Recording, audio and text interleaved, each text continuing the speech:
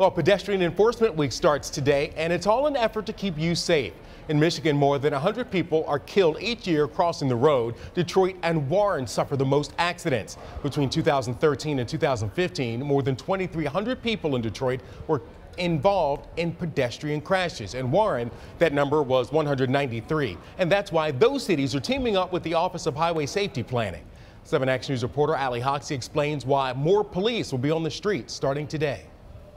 This enforcement is not just meant for drivers, it's also meant for people jaywalking. Warren police tell me this intersection behind me at 12 Mile and Van Dyke is one of the worst in the cities for that. I also spoke to a woman who uses this bus stop on a daily basis. She says she sees jaywalking all the time. They're just putting themselves at danger and other people at that point. China Tucker says just the other day she saw someone getting ticketed for jaywalking.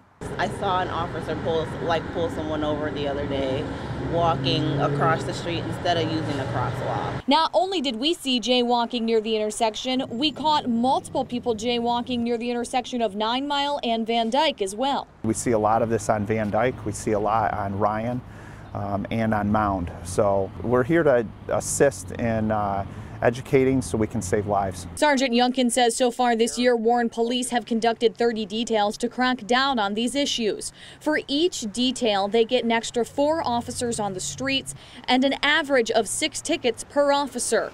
Some of the violations include jaywalking and improper lane usage, aka drivers passing into bike lanes and parking over crosswalks at the red lights. So far this year, there have been 20 pedestrian crashes in Warren. We should definitely think twice about that. It's either a funeral or making it across the street safely. You don't know which one it's going to be. Another issue Warren police tell me they see is people driving in these bike lanes. They say if they see drivers doing that, they will give them tickets. Reporting in Warren, Ali Hoxie, 7 Action News.